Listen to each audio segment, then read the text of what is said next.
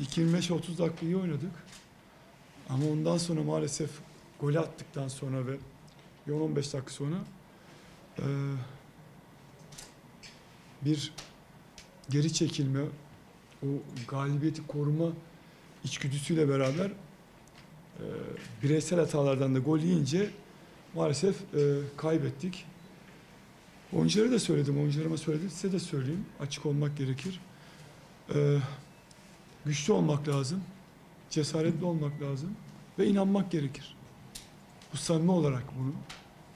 Herkesin böyle yapması gerekir. Eee, bu süreç, süreçleri ben yaşadım. Çok iyi biliyorum.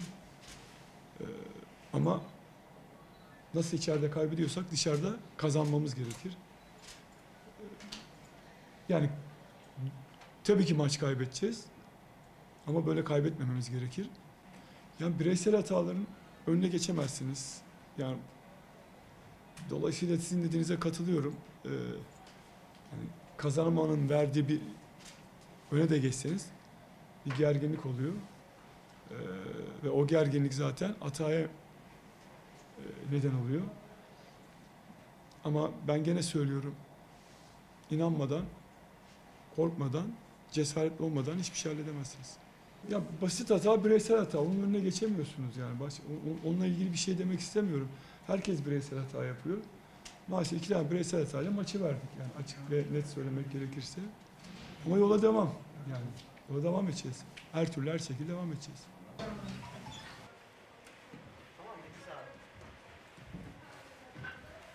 Kolay gelsin çalışmalar. İki hafta inanılmaz rakiplerimizle oynadık ve 6 puan çıkarttık. Bizim için çok iyi. E, maça başladığımızda e, iyi başladığımızı düşünüyorum ama yedi, duran toptan yediğimiz bir gol biraz bizim bir hastalığımız duran top. Onu çözemedik. Oradan yediğimiz bir gol biraz bizi sıkıntıya soktu ama e, sonra e, ilk devrenin bitimi ve baş, ikinci yarının başlangıcıyla kazandığımız iki gol ee, 2-1 öne geçtik.